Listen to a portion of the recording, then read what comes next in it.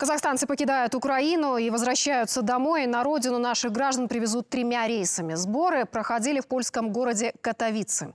Первый самолет прибудет в Алматы уже сегодня вечером. На нем, по данным дипломатов, перевезут 167 человек. Тем временем из Катовицы в Казахстан летит следующая группа.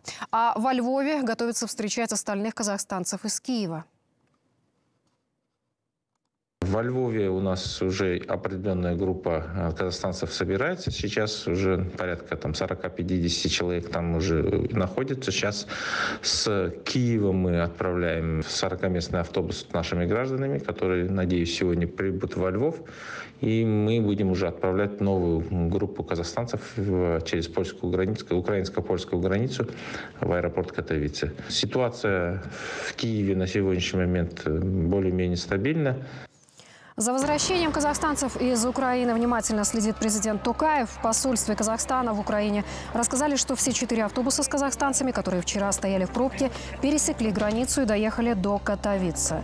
Часть пассажиров уже улетели в Казахстан, остальные ждут следующего рейса. Они рассказывают, что на выезде из Киева и на границе с Польшей по-прежнему вереница машин.